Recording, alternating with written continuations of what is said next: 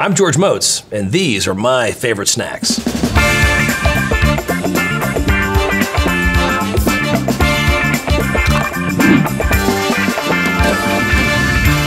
Motz Family Trail Mix. It's goldfish, it's goobers. Check this out, ready? Look at that. It's salty, it's sweet, it's cheesy. Very basic snack. And that's it. And thank you. I didn't have any food this morning. This was invented by my daughter at, I'm assuming, 2 or 3 o'clock in the morning. I think I discovered it in her room the next day when I was cleaning up. and I looked at this bowl of goldfish and chocolate covered peanuts and I said, this kid's going places. Look at that. From Brazil, it's paçoquita, basically peanut butter, salt, and sugar. Think of like a, a solid, a semi-solid piece of peanut butter with lots of sugar in it. Mm, mm. Oh, You wouldn't really find this in American American culture because it falls apart too easily. I think you imagine so many companies in the U.S. who make snacks are probably like, we can't sell that. It's so crumbly. Look at that. It's falling apart. How are you going to sell this? But that's actually what makes it taste so good. You need to visit every single supermarket in every town, every city, every country you visit. You have to go to, to supermarkets because supermarkets are where you see how people eat. Even if you're not going to buy anything, just walk the aisles and discover what people eat out there. It's very important. Why didn't you throw this at me?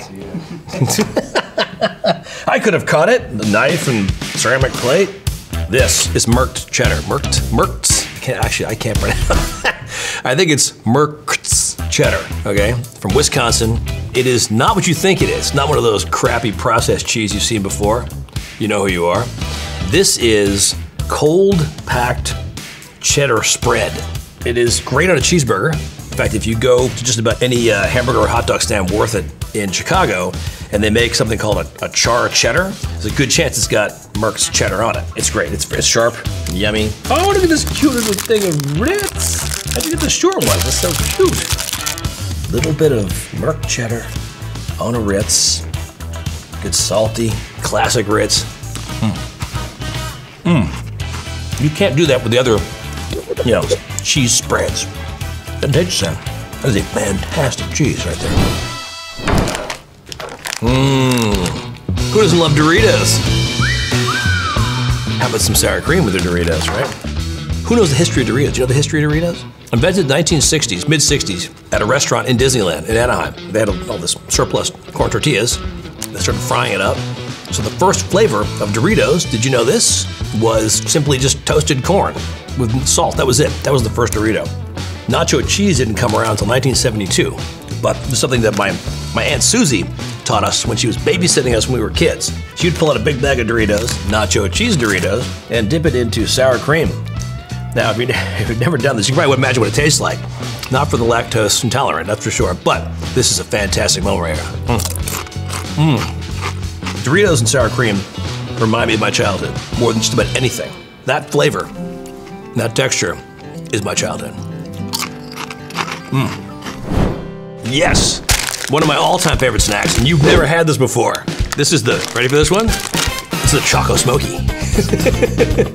the Choco Smoki!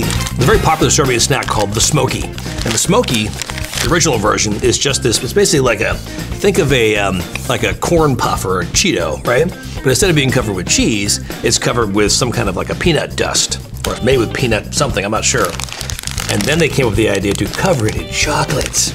This is a great snack. And this thing, I could eat the whole thing right now. I may do that actually. It looks silly, it looks kind of gross actually, but. oh. Mm. Oh, oh, oh. Oh, oh, oh, oh, so good. But good luck trying to find these. I'll be taking this with me, thank you. I don't know how, but like if you go to the Serbian market, it costs nothing. It costs like a dollar. How did they get this across the ocean and sell it to me for a dollar? I'm confused by that, but it's inexpensive. But a lot of times I'm looking for stuff that looks unique, stuff I haven't haven't tasted before. I mean, I, I can't tell you how many times I've picked up a, something on the on the supermarket shelves and taken one bite and go, oh, bleh. but I do try at least. And you should definitely try. You should definitely go into any store you want and try whatever you can you can stomach, basically. And because you're going to find something like this, I'll be very happy about it.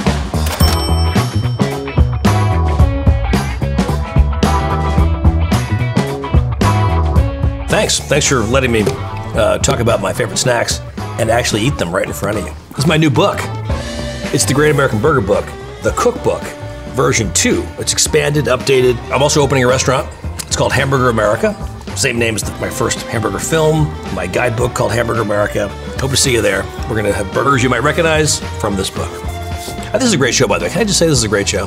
This, this series is fantastic. I'm not just blowing smoke up your ass either. And don't do an animation for that. That's disgusting. Please don't.